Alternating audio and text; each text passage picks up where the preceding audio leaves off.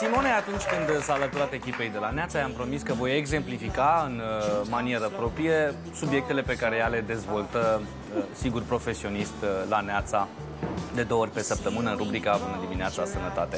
Uh, să rămână, Simona. Neața, neața tuturor, Ah. bună dimineața, dragii mei. Uh, pentru că am avut mare succes săptămâna trecută cu explicația uh, băiței realizată de uh, tătici, propun să fac și astăzi același lucru. Ce subiect ne-ai pregătit? Uh, alăptarea, nu cred că putem exemplifica astăzi, Răzvan. Alăptarea în public? Că pot și cu un cearșafuț așa, pe- să, să se pregătească Depinde de Dani, că avem mămică, nu? uh, sfaturi despre lactație și demonstrație în uh, uh, direct. Alăptarea și uh, pe somn, că știu și asta, când doarme cel mic. Adică Dacă știu vrea să se facă așa ape la... și noaptea, Da. da. la alăptăm la cerere, așa ar fi Alăptarea la indicat. cerere. Să se pregătească Dani, mergeți după el, vă rog tare mult. Vorbeam de bebeluș, Răzvan, în uh, nesugar. câteva minute. Sigur, glumim, uh, aș putea, nu este știu bine chiar că totul facem despre așa. alăptare și despre uh, nevoile unui bebeluș, dar știu că există, uh, cel puțin uh, în România, două mari uh, tabere. Tabăra celor care lasă alăptatul așa la, La cerere. la cerere și uneori cererea asta se duce până la școală și când pleacă la clasa a doua mai bea ceva de dimineață și nu știu dacă e cea mai nimerită formulă sau există uh, mamele care nu cred în uh, alăptare și uh, înțarcă micuțul la câteva luni după naștere. Așa este, din păcate există și femei care nu-și doresc să alăpteze, dar poate că urmărind materialul pe care l-am pregătit o să le convingem, pentru că este foarte important să alăptăm bebelușul. Sunt uh, beneficii și Tu, o să tu în ce vedem. tabără ești? Uh, A mamelor care își alăptează copiii. Deci Am mă aflu în uh, această perioadă pentru că am o fetiță de 3 luni și jumătate. Să-ți trăiască. Mulțumesc. Te rog și să un băiețel de prezinți. 7 ani pe care l-am alăptat la vremea uh, respectivă. Pe, el Marc îl îl- știi. Pe el îl Sunteți știm prieteni. și uh, suntem și prieteni. Te rog să îți prezinți rubrica. Bun, citam, dragii mei, de curând că micuții care sunt hrăniți cu lapte matern devin mai inteligenți și sunt mai puțin vulnerabili în fața bolilor. Mă refer aici la imunitate. Cel puțin aceasta a fost concluzia unui uh, studiu britanic realizat pe 3.000 de bebeluși. Și specialiștii americani spun că mamele ar trebui să-și alăpteze copiii până la 7-9 luni cel puțin. Deci este important să ne alăptăm uh, bebelușul, alăptăm copilul la cerere, chiar și noaptea, ce și cât trebuie să mănânce femeia care alăptează. Sfaturi uh, pentru a stimula lactația. Ce facem când încă alăptăm și începem uh, serviciul. Sunt întrebări la care vom primi răspunsul imediat.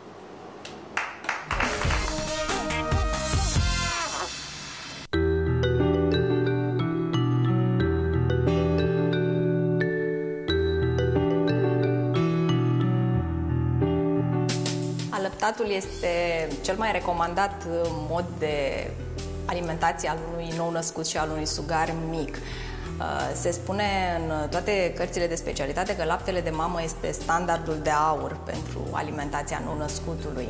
Beneficiile sunt uh, nenumărate atât pentru copil cât și pentru mamă.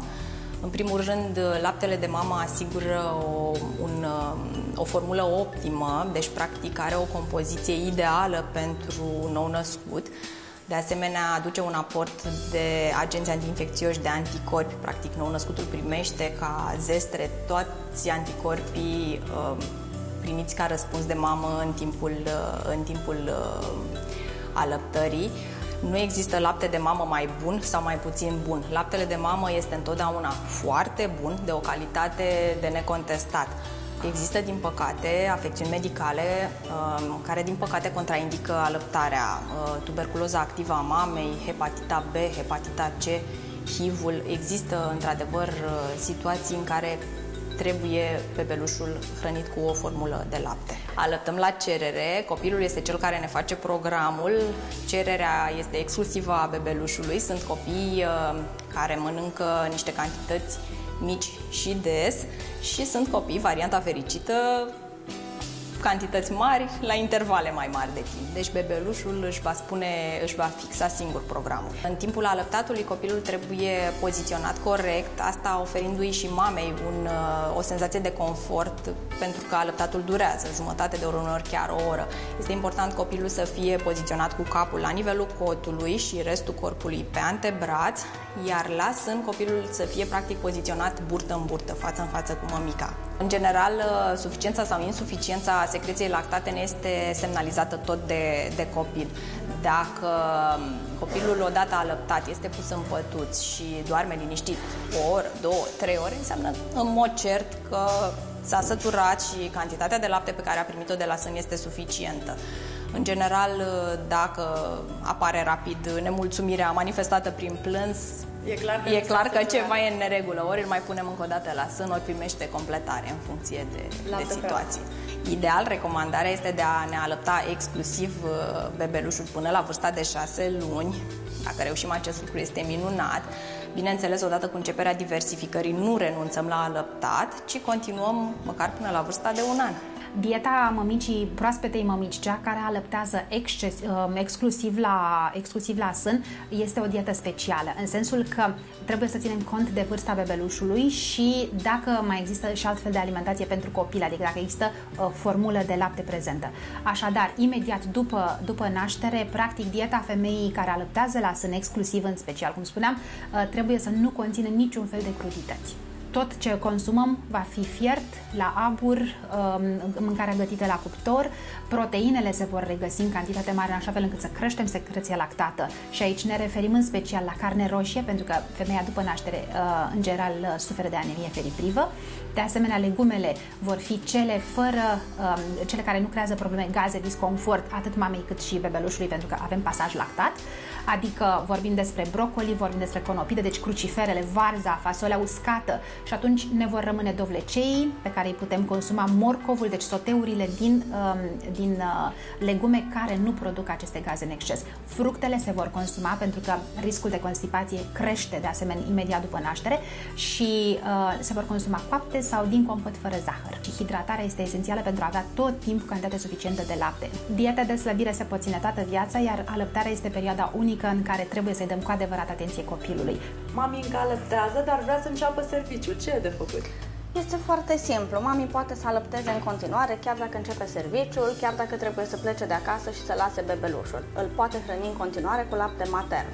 Are nevoie de pompă de sân, fie manuală, fie electrică.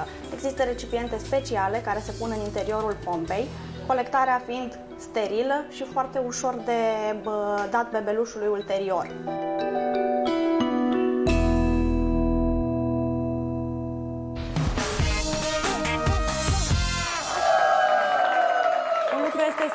Sigur, dragi prieteni, este foarte important să alăptăm. Sunt beneficii atât pentru copil cât și pentru mamă. Nu există lapte de mamă bun și lapte de mamă mai puțin uh, bun. Laptele de mamă este singurul care își adaptează formula în funcție de ora la care alăptăm, în funcție de anotimp, astfel încât să-i asigurăm uh, bebelușului nostru tot ce este necesar și bun.